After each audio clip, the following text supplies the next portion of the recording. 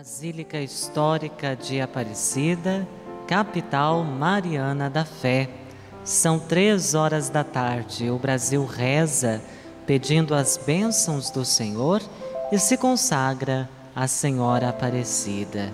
A mãe nos reúne em sua casa e somos todos acolhidos no seu amor maternal. Boa tarde aos queridos peregrinos romeiros de Nossa Senhora que aqui estão reunidos queremos também acolher de modo amigo e fraterno a você que nos acompanha através da rede Aparecida de Comunicação, TV Aparecida e portal a12.com. Que alegria poder chegar até a sua casa, até o seu lar. Você é parte da nossa comunidade orante, aos pés de Jesus e de Nossa Senhora. Unidos em Cristo com Maria, nós temos um momento muito especial de oração hora da graça de Deus para todo o nosso povo. No encontro com Jesus Eucarístico, queremos deixar o Senhor falar bem de perto ao nosso coração, alimentar-nos com Sua força e nos dar a alegria que nasce da fé e da vida em fraternidade. Quem se encontra com Jesus, encontra-se também com Maria, mulher eucarística, que continua a nos oferecer o seu divino Filho. Com Maria, a quem faremos nossa consagração, aproximemo-nos da fonte eterna de amor e de salvação, pois ela leva toda a comunidade a Jesus, nosso Redentor. Coloquemo-nos de pé e cantemos para a exposição do Santíssimo Sacramento. Na página 26, número 13 do nosso livrinho.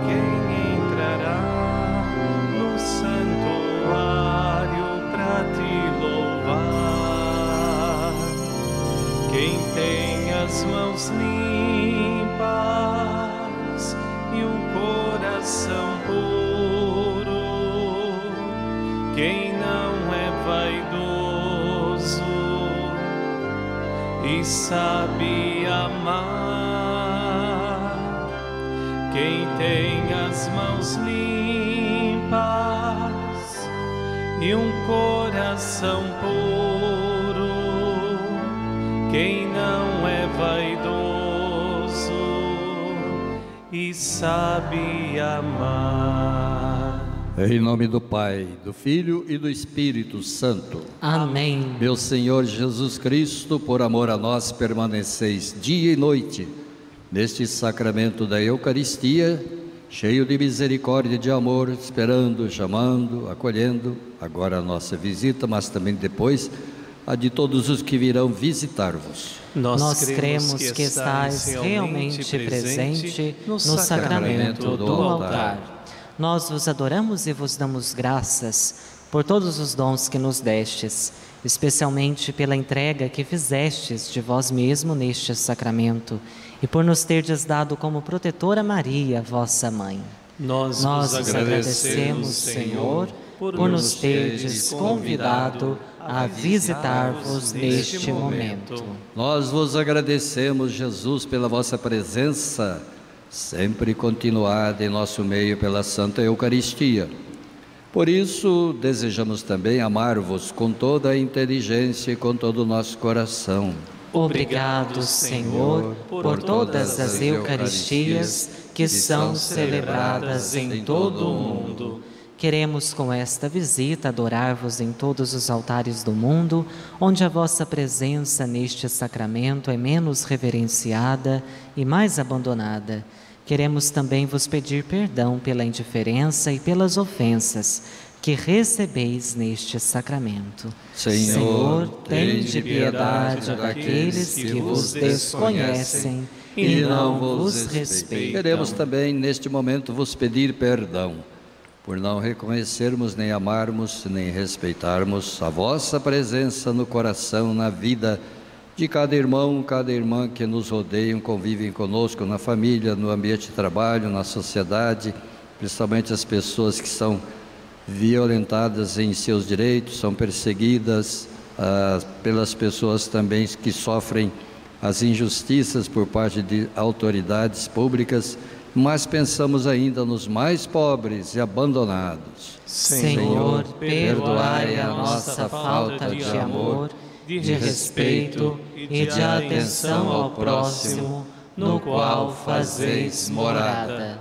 Queremos ainda, Senhor, depositar em vosso coração misericordioso nossa vontade, nossos sentimentos e nossa vida, para que sejamos vosso sacrário vivo.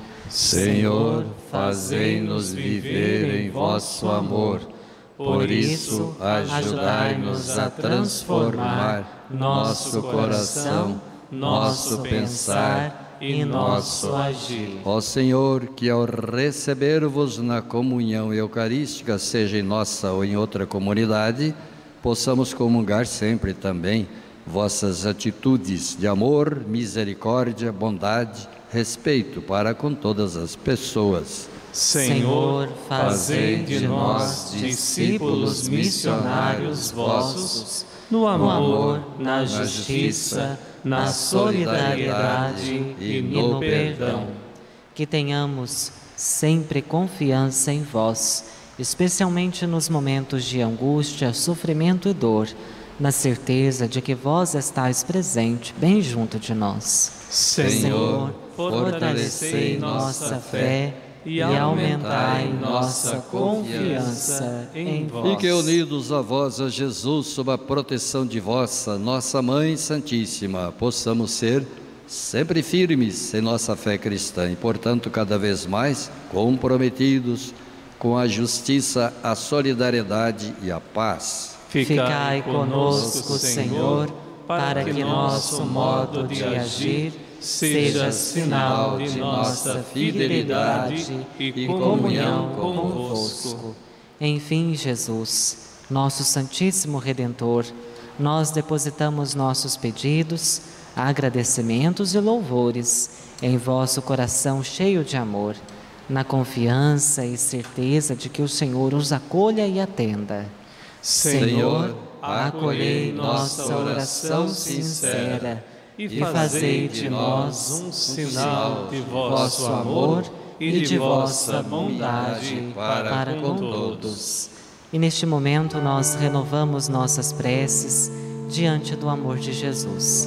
Apresentamos ao Senhor os pedidos de oração, os agradecimentos e intenções que estão depositados no altar de Aparecida Rezamos também com você que nos acompanha da sua casa, do seu trabalho. Você pode ligar para nós e deixar também sua intenção. 0300 210 1210.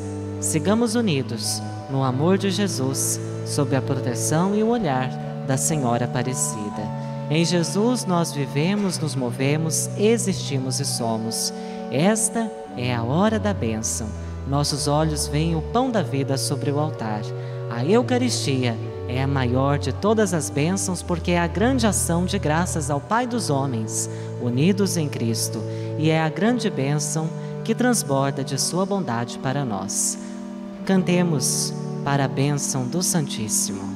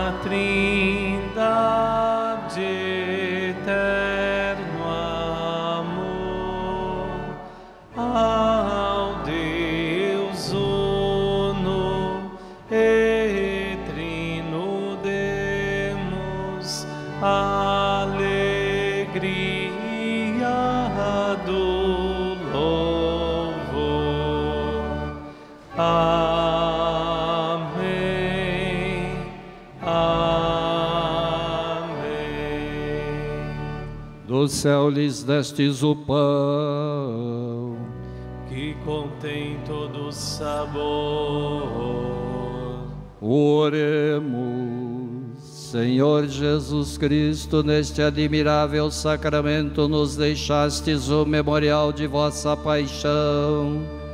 Dai-nos venerar com tão grande amor o mistério do vosso corpo e de vosso sangue que possamos colher continuamente os frutos da redenção.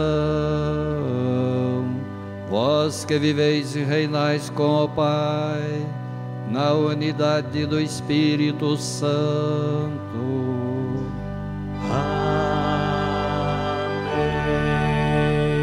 Amém.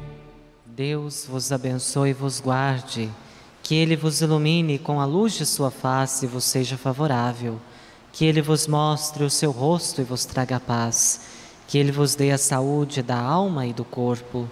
Nosso Senhor Jesus Cristo esteja perto de nós para nos defender, esteja em nossos corações para nos conservar, que Ele seja o nosso guia para nos conduzir, que nos acompanhe para nos guardar, olhe por nós e sobre nós derrame a sua bênção.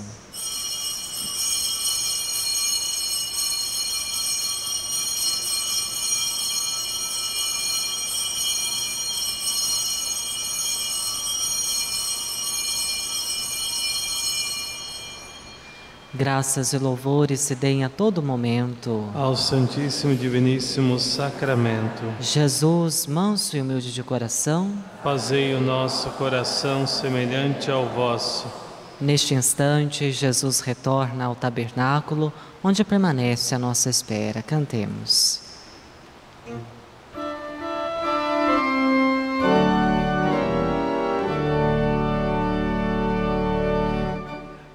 Louvado seja nosso Senhor Jesus Cristo, para sempre seja louvado, para sempre seja louvado.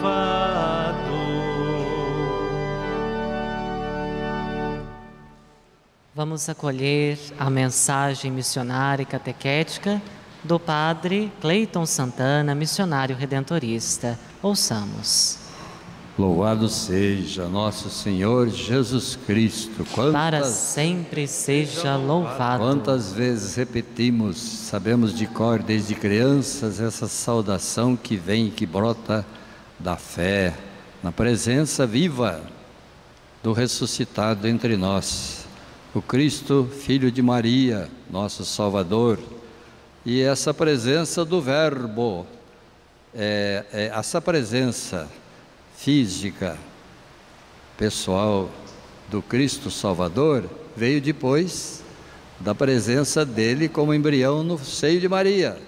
Portanto, como palavra viva, palavra viva embrionária, que mistério, não é? Palavra viva do, do Verbo se fez carne e habitou entre nós. Louvado seja nosso Senhor Jesus Cristo. É daí que decorre essa expressão de fé. Hoje, então, dentro do mês da Bíblia, que é setembro, e já há muitos anos é tradicional, queria deixar no seu coração, na sua mente, esta consideração. A palavra de Deus lida e rezada, que, que ela faz? Diviniza. a humanidade. O Verbo se fez carne e habitou entre nós. Não é uma expressão poética do evangelista, é a de tentativa de descrever o mistério de Deus que humanizou com a sua divindade a nossa pobre humanidade, que ele criou. Ele criou e entregou para nós, no mistério do seu amor, com toda a generosidade possível, nós nem podemos imaginar, infinita desse Deus. Entregou, mas nós maculamos, manchamos, denegrimos, ofendemos, desprezamos, desfiguramos a nossa humanidade original. E aí Deus vem em socorro novamente na sua bondade infinita e nos envia seu filho nascido de Maria. Por isso Paulo apóstolo cita lá na Gálatas 4:4, quando chegou a plenitude dos tempos. O que significa essa plenitude dos tempos? É o momento oportuno que na infinita sabedoria de Deus ele achou para nos socorrer, nos salvar, através daquele percurso do tempo, no tempo de Jesus, num determinado ponto da terra, que nós conhecemos como é, Judéia, Galileia, Samaria, não é? É a palavra de Deus lida e rezada por nós agora, em todas as vezes, diviniza essa nossa humanidade, como fez isso, enviando Ele no mistério do seu amor, a palavra viva aqui, pela qual Ele é Deus. Lembra aquela passagem do Evangelho, do livro do, do Gênesis, do Êxodo? O Gênesis, Êxodo também. Moisés pastoreando o rebanho do seu sogro lá no alto do Monte Horebe, viu um espinheiro ardente que não se consumia. Aproximou-se por curiosidade. Essa é a curiosidade que deve nos dirigir também hoje para é, nos inteirar, compreender melhor a palavra de Deus no mês de setembro. Então Moisés aproximou-se e ouviu a voz, a inspiração interior. Este lugar é sagrado. Tira as sandálias. Quiser tirar as sandálias, despoja-se de tudo aquilo que você acha que é a realidade. É. E aí Deus envia Moisés para ser o Salvador. E Moisés é o protótipo de Jesus, o Salvador, ao menos para o nosso pensamento cristão católico, não é? E quando Moisés pergunta, mas ninguém vai acreditar em mim quando eu disser que eu disser que eu, foi o Senhor que me mandou. O que, que eu devo falar? O que, que eu devo falar? Diga aquele que é te enviou. Ficou na mesma, parece, né? Mas nem dá para ser de outro modo, a palavra viva. Quem é, quem fala é Deus.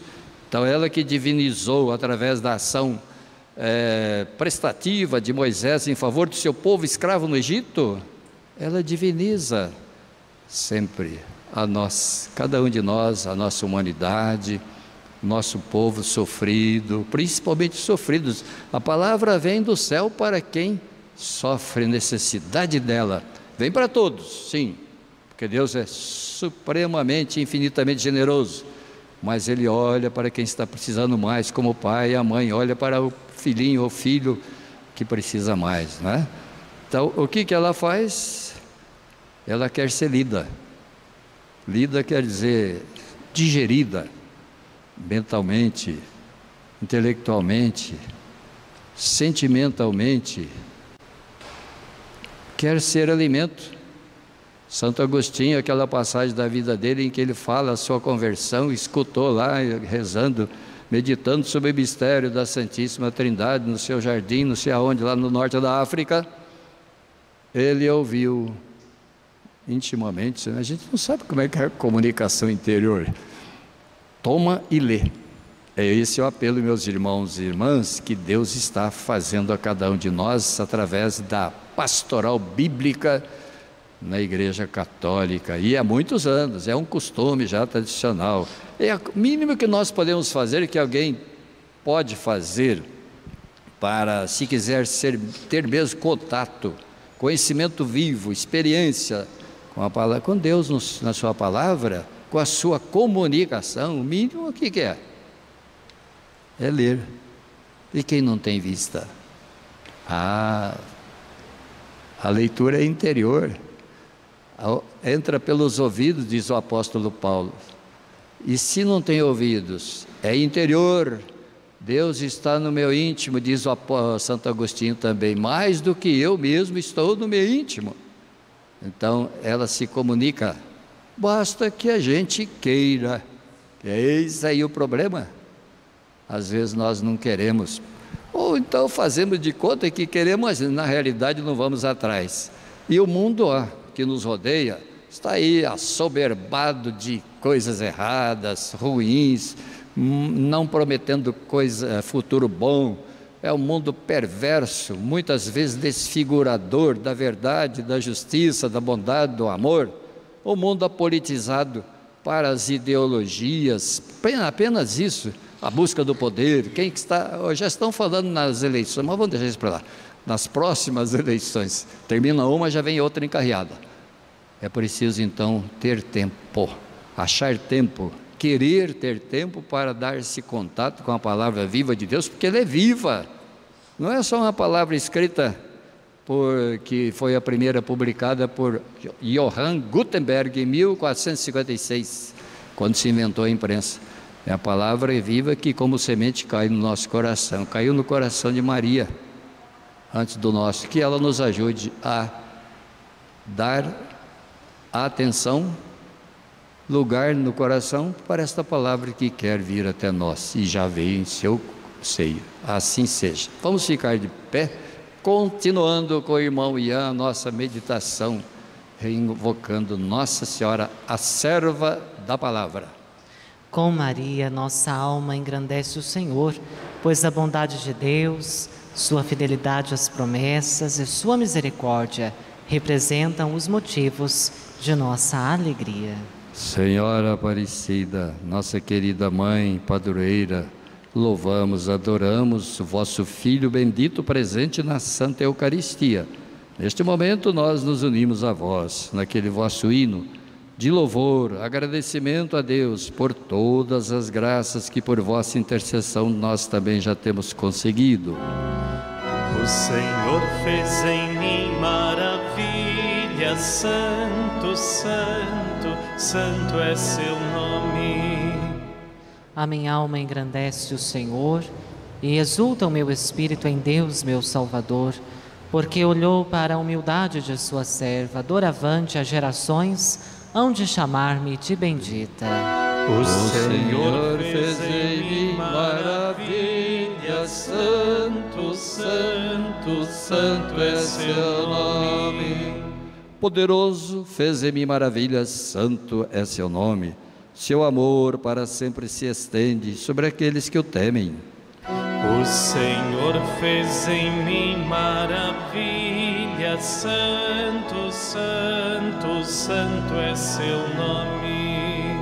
Manifesta o poder de seu braço, dispersa os soberbos, derruba os poderosos de seus tronos e eleva os humildes. O Senhor fez em mim maravilhas, santo, santo, santo é seu nome. Sacia de bens os famintos, despede os ricos sem nada, mas acolhe Israel, povo eleito, seu servidor fiel ao seu amor. O Senhor fez em mim maravilhas, santo, santo, santo é seu nome. Glória ao Pai, ao Filho e ao Espírito Santo, como, como era no princípio, agora e sempre. Amém. Amém. O Senhor fez em mim maravilhas, santo, santo, santo é seu nome. Irmãos e irmãs, acompanhemos com fé este momento de bênção da água e agradeçamos a Deus que fez a água ser mãe da vida. Senhor Jesus, vós realizastes pela água a cura de toda e qualquer enfermidade. Vós nos prometestes uma água que jorra para a vida eterna. E da água e do Espírito Santo nos fizeste nascer um dia para a vossa própria vida divina. a vida do Espírito Santo pelo sacramento do batismo. Vós fizestes aparecer das águas do rio Paraíba a imagem de Nossa Senhora Aparecida, para ser um grande sinal de misericórdia e salvação para o povo brasileiro. Derramai sobre a água que aqui hoje apresentamos também aquela que neste momento em qualquer outro lugar está sendo apresentada a vós.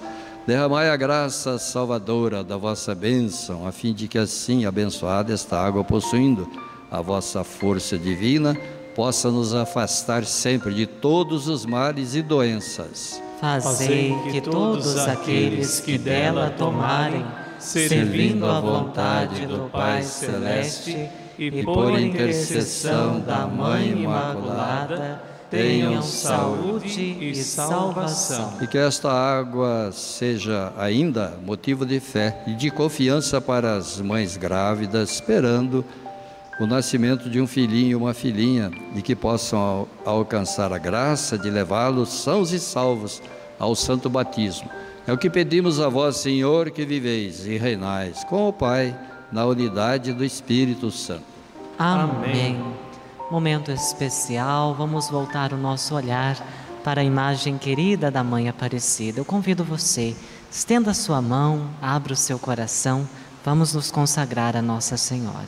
Ó Maria Santíssima, pelos méritos de nosso Senhor Jesus Cristo, em vossa querida imagem de Aparecida, espalhais inúmeros benefícios sobre todo o Brasil. Eu, embora indigno de pertencer ao número de vossos filhos e filhas, mas cheio do desejo de participar dos benefícios de vossa misericórdia, prostrada a vossos pés, consagro-vos o meu entendimento para que sempre pense no amor que mereceis. Consagro-vos a minha língua, para que sempre vos louve e propague a vossa devoção. Consagro-vos o meu coração, para que depois de Deus vos ame sobre todas as coisas. Recebei-me, ó Rainha incomparável, vós que o Cristo crucificado deu-nos por mãe no ditoso número de vossos filhos e filhas. Acolhei-me debaixo de vossa proteção.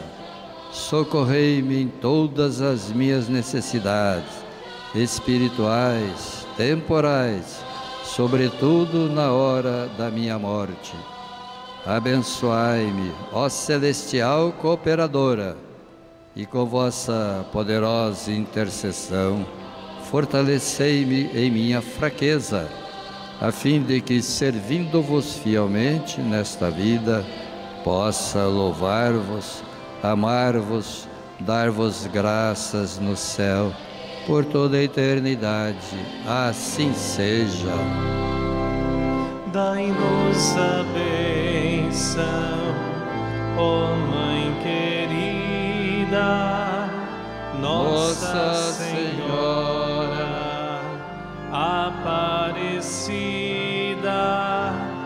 dai-nos a benção, ó Mãe querida, Nossa Senhora Aparecida. Oração pela Pátria, ó Senhora da Conceição Aparecida Mostrai que sois a padroeira de nossa pátria e a mãe querida do povo brasileiro. Abençoai, defendei, salvai o vosso Brasil. Amém. Quero acolher a todas as intenções de cada um dos presentes, aquelas que a gente não sabe não ouviu falar, mas está no coração de cada um, e quero juntar a elas também uma especial, especialíssima minha hoje, é, para o descanso eterno da alma de Ana Gonçalves. Quem foi Ana Gonçalves? A mãe de uma senhora que trabalha há mais de 25 anos para os redentoristas na província de Nossa Senhora Aparecida e que também trabalha um pouquinho para mim lá no Convento Novo, a mãe da Carol que Deus a tenha em seu gozo eterno. O Senhor esteja convosco. Ele está no meio de nós. Por intercessão de Maria, mãe e servidora da palavra, que alegria, paz, saúde, bênção de Deus Todo-Poderoso, Pai, Filho, Espírito Santo, desça sobre vós, vossas famílias e trabalhos e convosco permaneça sempre. Amém. Vamos em paz, o Senhor nos acompanhe. Graças a Deus. Saudemos a Mãe Aparecida com nossas palmas. Viva Nossa Senhora Aparecida! Viva! Viva a Rainha e Padroeira do Brasil! Viva! Viva Jesus Cristo! Viva! O nosso muito obrigado a você que nos acompanhou pela TV Aparecida, pelo portal A12. Permaneça conosco em nossa programação. É bom estar onde a mãe está. Cantemos o canto final.